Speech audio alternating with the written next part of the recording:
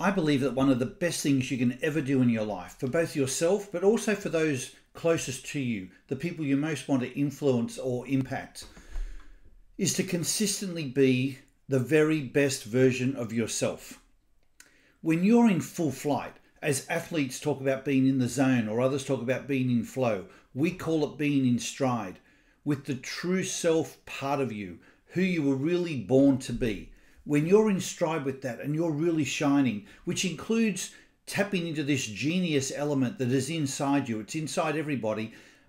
Even though they may not know what it is, doesn't mean it doesn't exist. But when you're tapping into that, you're in stride, you're in full flight, two things happen. Number one, you give off an energy that's magnetic and inspiring and enticing to other people to somehow want to follow suit. But secondly, even if they're not able to follow suit right now and be as in stride as even they wish they could be, they can draw from your energy as a source of positivity for them. And in this time of uncertainty and confusion around the world, when a lot of us are looking at thinking, what can we do to help? How can we make a difference to the people particularly closest to us? One of the best things you can do is right in front of you, which is to be the very best version of yourself and give off that positive energy and give off that example consistently for the benefit of others.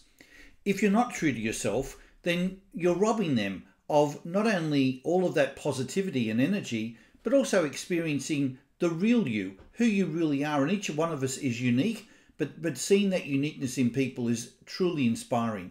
In fact, Nelson Mandela, in his inaugural speech, made those comments. He said, You know, as you let your own light shine, we unconsciously give other people permission to do the same.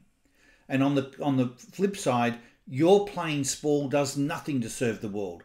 There's nothing enlightened about shrinking and playing small so that other people won't feel insecure about you.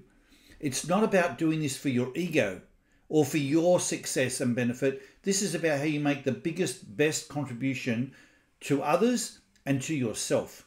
Be true to yourself. Be in stride with your ID.